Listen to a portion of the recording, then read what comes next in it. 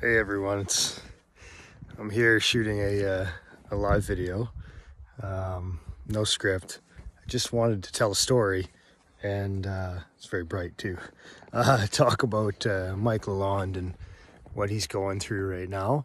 Um, and uh, I just I don't know. I think it's important that people, you know, know some of the things that are happening in the community right now as we speak. And this, uh, you know, Mike asked me to if I could help him and don't really know how I can. So I thought maybe I'd make a video and, and you know, maybe that'll help.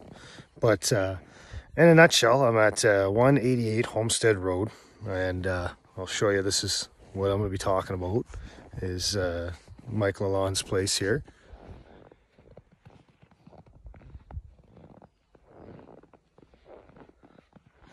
And uh, as many of you are many of you are aware, uh, Mike's been in the community for a long time, but uh, he's kind of a quiet guy. Um, many people don't know him. And uh, about a year ago, his house burnt down. He didn't have insurance.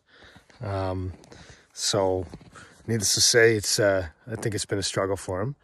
And, uh, you know, um, some other runs, run-ins with bad luck as well. But he's a pretty private guy, so you know, I don't want to go too far into his, his personal life, but he did injure himself in an accident as well and broke his leg. But through all this, he's managed to keep his job.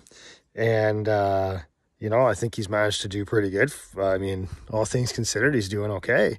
And uh, he erected this here uh, structure that he got a permit for. And, uh, you know, he's got a trailer and that's where he's living. So, um, I don't know, I think it's quite unique. He has a well because I mean there's a house here he has hydro he has a septic so there's no contamination of the ground uh, he has clean drinking water he's got propane so you know it's uh hey it's not a bad setup it's it's the best he can do so why am I here today shooting this video um, well it turns out Mike's in violation of zoning bylaw um, so the municipality served him some papers and uh, they want him evicted um, so they're uh, they're going through the process right now. He's been served. Uh, uh, it's going to go to court. Um, Mike's trying to retain a public defender. Um, hopefully, he's successful. And uh, to be honest, I don't know what he can do. I mean, I'm, I hope him to wish the best for him, but I mean, I'm assuming the township, with all their resources and all their money and all your money, they're going to be successful in their application and he's going to be evicted. Um, yeah, I mean, uh, I think it's important that people know about it. And I this I wish we could find a different way, you know, because I guess you know the way I see it is, you know, with the well, with the septic, you know, Mike's got a lot to lose here. Uh, it's his home. It's all he's got for a home. Um, you know, you really you need food, water, and shelter to live, and shelter's pretty important. It's not an ideal situation, but hey, I just don't think that. Uh, well, I know for I'll speak for myself. I wouldn't judge anybody if they lived in wherever they live. That's that's what they have. If you lived in a trailer, or you lived in a two million dollar home, or you lived in something in between, that's that's just your home, right?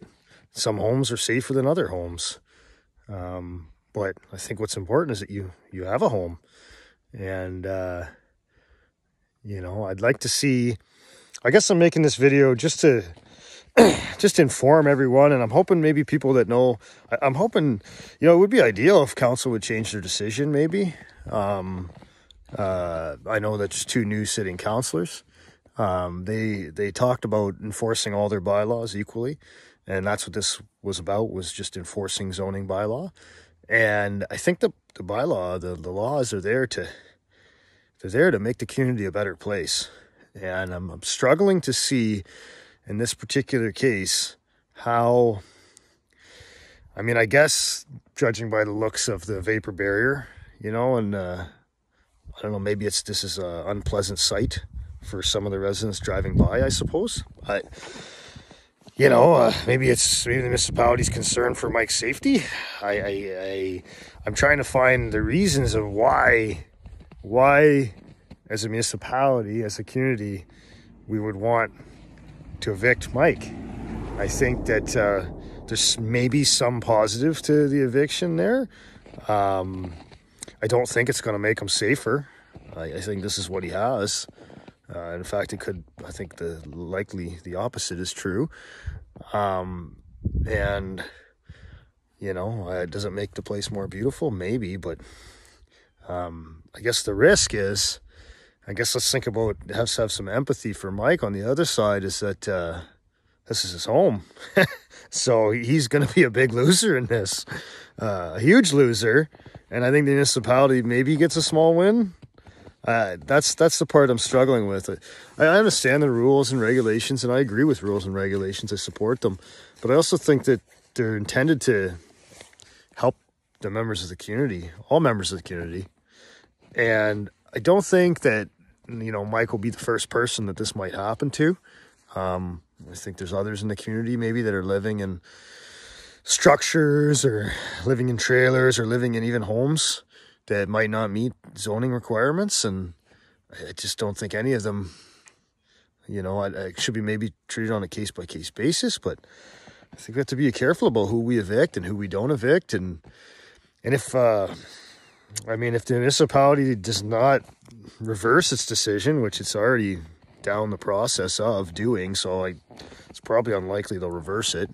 Um, but I do want to get this video to them, and I'm hoping you guys will reach out to your councilors and everything as well, just to ask some more questions.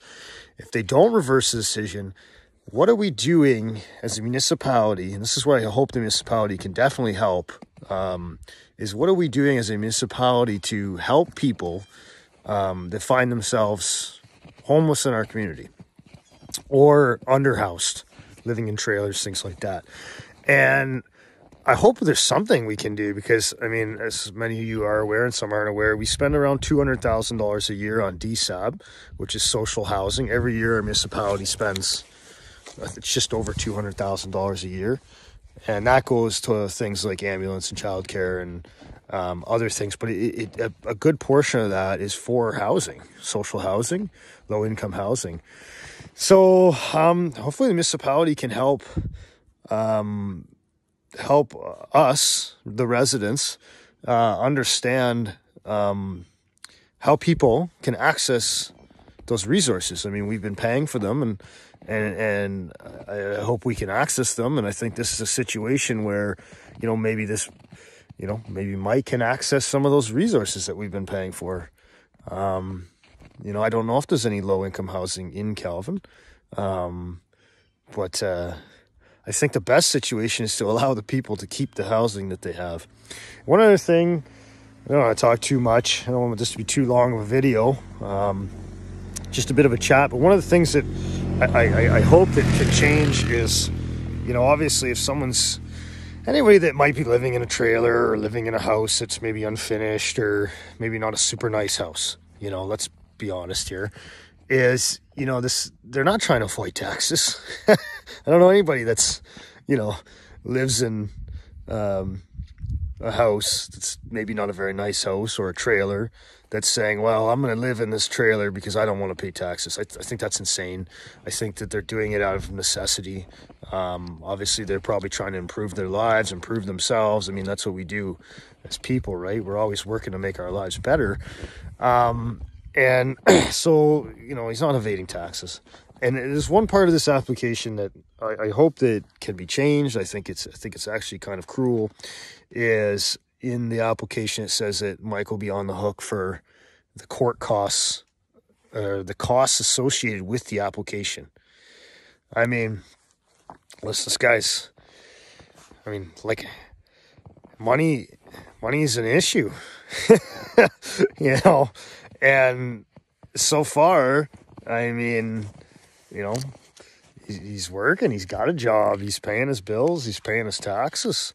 Um, but I mean, that can only go so far. So I, I just, I hope the municipality would be conscious that, you know, they may have unlimited resources, they may have all of our tax dollars, but some of the people that they're they're enforcing their rules, uh, you know, their bylaws and their zoning against might not have the resources. And to stick him with the bill, I think would be unfair, um, incredibly unfair. um, and uh, so hopefully that can change. Hopefully he doesn't get stuck with a bill for for trying to defend himself and trying to defend his house, uh, his home. So anyway, I just uh, I'm gonna attach this video. I'm gonna want to share it online. I'm gonna try and sum it up so it's not too long. But uh, I don't want to attach the. Uh, so what am I hoping comes of this? I don't know. I just think it's important people know. Um, I think uh, information in the community is important. I think I don't. I think that uh, we haven't been communicating as well since COVID. I, I believe that, and and with all the stuff that's going on in the world, it's uh, lots of people are falling between the cracks. Lots of things, lots lots of information in the community is not getting out. So, um, what can people do? I mean, I don't know. I'd say if you have a relationship with a councilor, or you know, uh, call them, ask them a couple questions about it, see if there's anything they can do to reverse it. I, I mean, I know they can, but they might tell you otherwise. But uh, if they can't reverse it, then what kind of supports can be provided? Um, municipality has a Facebook page. Um, you know, just reach out to them, be nice, be kind. I mean, because at the end of the day, we're all trying to help each other. I mean, that's the whole goal of a community, right? So, um, something to get angry about. I hope it's not an angry video. um, I think it's a serious video, and um, hopefully, I can do some more in the future that aren't so serious. But uh, um, yeah, I think it's an important story that has to be told and uh, reach out. All the information's on their website, and uh, ask some more questions about why why this has to be this way, um, and what we can do as a community to help. And I just want to make one last thing clear: is you know Mike's not asking for money. He doesn't want money. He doesn't really want any of this attention at all. Um, he doesn't really probably even you know love the idea of putting this video out there, but I think it, it needs to be shared and um, there's not a lot of options. So he's not looking for money. He's not trying to crowd fund or fundraise or um, just wants to keep his house. Just wants to keep, uh, just wants to be allowed, allowed to stay, um, so he can, he can help himself. And and I don't think there's anything. I think that's that's quite good. That's a that's a noble thing. I I think I would feel the same way. And he definitely doesn't want anybody's uh, pity or sympathy. Empathy is good. So to empathize and, and put yourself in someone else's shoes, but not to feel sorry for them. You know, everyone needs to pick themselves up and improve their own lives, but we just need not make it harder for them, I think, um, when we can, right? And hopefully as a community, uh, we can reach out to council and maybe they can do something um, to, you know, give them a, let him stay for a little longer. I don't know. It's, it's just going to take time for him to get back on his feet. Okay, guys. Thanks a lot. Have a great day. And uh, I'll give you one more look at the place. And, uh, you know, I don't know. Looking forward to hearing from you, getting some feedback. Thanks a lot. Talk to you later.